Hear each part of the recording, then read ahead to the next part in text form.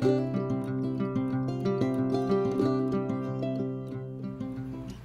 everybody, welcome back for another video. It's to be one with mainly music behind it. I have been trying to finish up this sketchbook forever. It's had like a few pages in it and so I did um swatches of this palette before I added the greens and um I was playing with a bunch of my Tombow brush pens. Those are some Arteza real brush pens, but I did these pumpkins over the weekend. And I wanted to draw a pumpkin kind of like that with a um, witch's hat on. Kind of like the sorting hat. And so I sketched that out. I did line it with a fountain pen ink, but I realized I forgot that I'd put um, the wrong ink in, so this ink will run a little bit. So we'll have to fix that up with pencils or paint or something. So have fun, enjoy the video. And I'm gonna have Charmed on, so that's why we're gonna have music, because I figured why not paint something Halloweeny and watch how Charmed. I have a lot of my stuff in my um, uh, Lochby uh, palette, or um, not palette, my Lochby, um, I'll pull this paint palette out my Lochby Venture pouch, that's what it's called. But I need this side. I Got some brushes, a fine liner. It holds so much stuff. This is an old travel palette I used to carry. You can see I've used the heck out of it um, because of all of the divots. Um, this is a new palette that I got. It is the one by Artist Loft. And the paints are actually really nice. I was worried they were gonna be chalky. They feel like the Mungyo. So that means they're like the original Jane Davenport ones. Um, this was using them, blending them to get different oranges. Um, yeah, but it's they call it a portrait palette. Uh, yeah. And it's basically like um, skin tones. 12 half pans. This is the palette, minus this row. These I are a bunch of greens I added from, this green is from Rosa Gallery, and then these four here are from my Phoenix set. There's like an olive green, a sap green, a uh, Hooker's dark, and then this is kind of like a leaf green, May green sort of a color. Kind of like that there. But these are both little palettes that I like to travel with. This one, I know the paints so well that I actually might use these over these because I know these paints better. Why don't we do that? Um, so these are art, art, art, uh, Zen Arts watercolors. Um, yeah, Zen Art supplies. And they are the exact same as the Phoenix watercolors, which is also the same thing as the um, Winsor Newton Cotman watercolors. I'm just gonna mist these a little bit to get them wet. These are the original swatch cards, so you can see like the original color names. And then here's the swatch card I made of how I have them in there. And I'm gonna put that there just to prevent any bleeding. And here we go.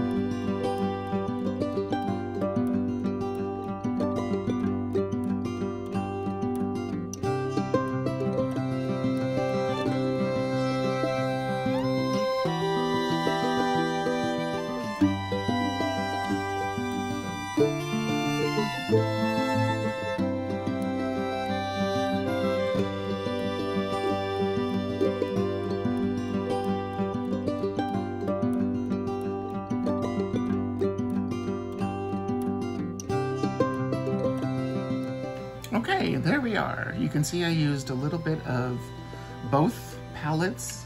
I forgot I didn't have a Payne's Gray in here. Um, the closest I had was like a indigo and a Prussian blue. So I pulled out this palette and used lamp black and a little bit of Van Dyke brown to create the shading on the hat. So there we are. I hope you had fun and I will see you in the next video. Bye-bye.